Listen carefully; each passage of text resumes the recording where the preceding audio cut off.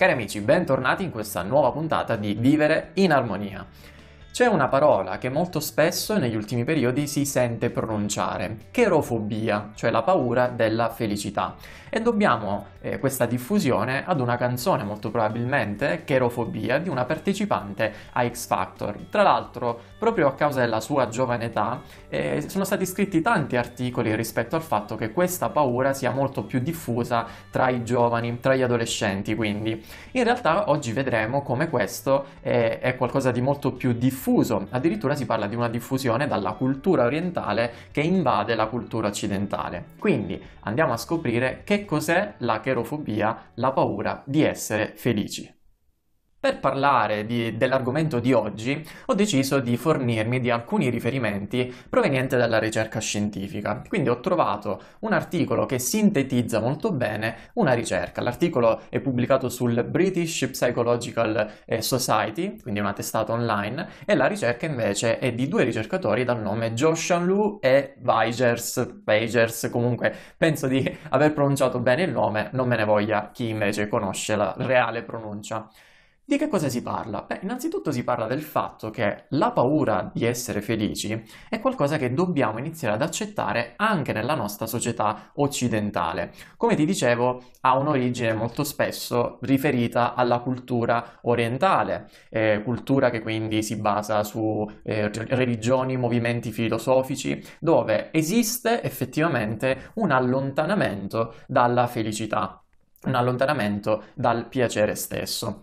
Allora quindi è qualcosa che effettivamente dobbiamo prendere atto, esiste anche nella nostra eh, società. Mi piace questo articolo e questa ricerca proprio perché ha questo taglio culturale. E allora si dice che possiamo identificare quattro principali punti che hanno radici profonde nella cultura. Innanzitutto il fatto che eh, si allontani la felicità perché subito dopo la felicità, per le leggi del taoismo e quindi per le leggi del, dell'azione inversa, potremmo dire, eh, si susseguono momenti tristi quindi eh, effettivamente non voglio essere felice proprio per evitare il fatto di affrontare subito dopo la delusione di qualcosa di triste. Secondo punto invece è, riguarda il fatto che essere felici ci renda delle persone peggiori.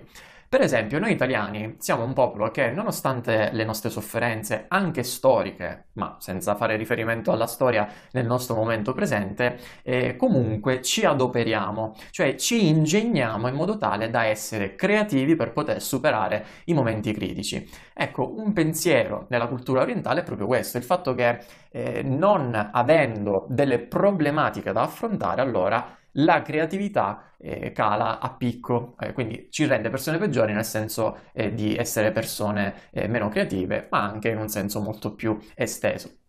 Poi il terzo punto riguarda l'espressione della felicità, cioè diventa un vero e proprio problema eh, esprimere la propria gioia, la propria felicità, perché questo potrebbe danneggiare gli altri.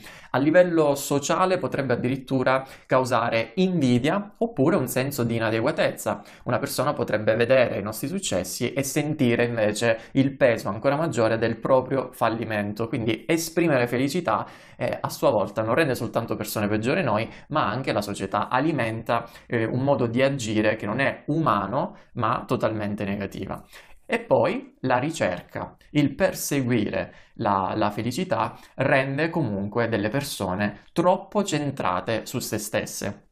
Questo è un forte riferimento soprattutto alla diffusione della crescita personale su stampo americano, dove culturalmente l'America ha questa concezione del self-made man, cioè dell'uomo che si crea e si costruisce da solo, così come all'opposto ha la concezione del parassita della società, una persona che eh, rimane in casa, per esempio, dei propri genitori per troppo tempo, viene considerato proprio un parassita, qualcuno che non si adopera ma prosciuga le risorse sociali. E quindi la ricerca continua della, felici- della felicità è proprio legata a questo senso di egocentrismo. Faccio di tutto per essere felice e per arricchire il mio ego.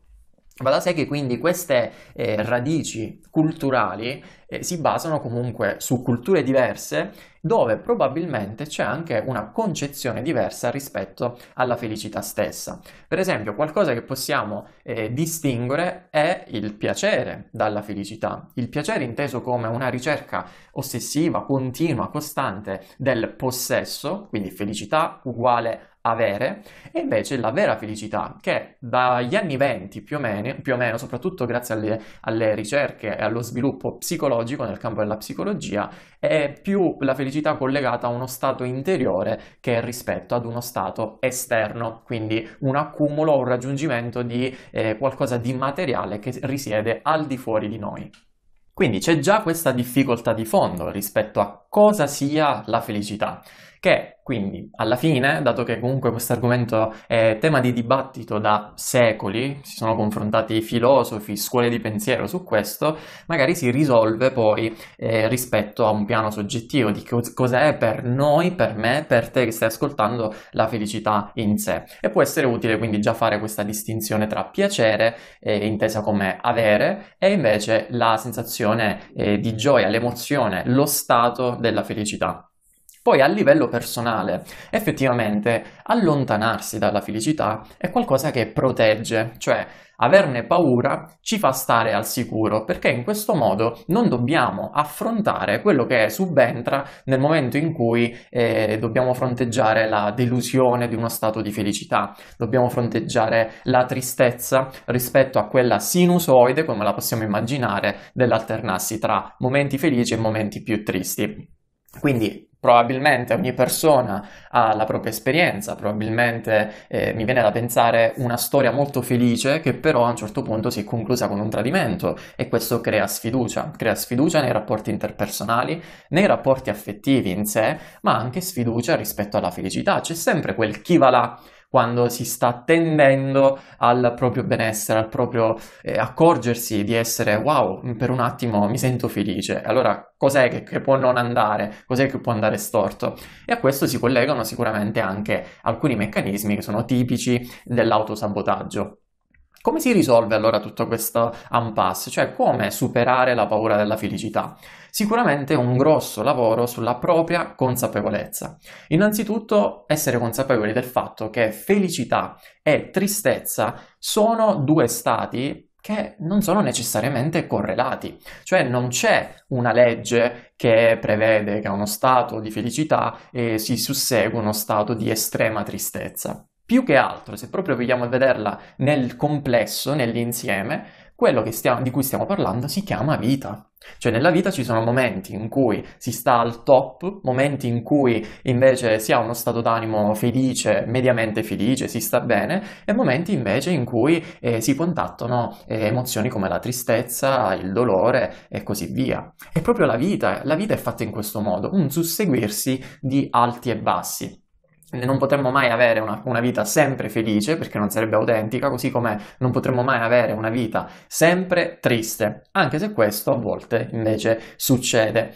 E allora, una volta presa questa consapevolezza che il susseguirsi è la vita e che esiste la felicità, esiste la tristezza e non necessariamente sono eh, unite, che cosa fare? Beh, effettivamente quello che possiamo fare è scegliere ed elaborare il nostro modo di poter affrontare queste diverse situazioni. E qui mi rifaccio a un grande, Frankel, che eh, ha vissuto il dramma dei campi di concentramento e nonostante tutto ha fondato quella che chiama la logoterapia, cioè la terapia del senso della vita, in cui dice eh, non è tanto il contenuto, ma è que- come lo si affronta e lo, so- lo si può affrontare nel migliore dei modi, quindi non al massimo, ma possiamo cercare di farlo migliore dei nel migliore dei modi rispetto a quelle che sono le nostre risorse. Se scegliamo di ricercare un senso. E allora in questo caso mh, si parla molto di eh, poter decidere se avere una retrospettiva rispetto a quello che si è, è vissuto, ad esempio una, ros- una, retrospettiva di rabbia, di tristezza, di delusione, oppure avere una prospettiva, al contrario, una prospettiva di fiducia, cioè un po' affidarsi. Tutto questo eh, passa anche per eh, il essere presenti e avere consapevolezza, avere consapevolezza che comunque vadano le cose, eh, io sono qui, sono presente, lo vivo pienamente e non solo, scelgo di poterlo fare al massimo, eh, al meglio delle mie risorse e delle mie potenzialità e quindi attingere non all'esterno ma alla propria interiorità. Questa era la riflessione sulla paura della felicità, sulla cherofobia, che se ti è stato utile ti invito come sempre a condividerlo con le persone che possano trarne beneficio. E se invece vuoi ricevere una riflessione extra ogni mattina attraverso un messaggio WhatsApp, inviami sul 329 3211 971 la parola consiglio oppure vai su sebastianodato.it slash consiglio e ti unirai al nostro percorso che chiamiamo Training alla Gioia, totalmente gratuito ma una parola eh, giorno dopo giorno giorno può davvero fare la differenza. Un abbraccio, alla prossima!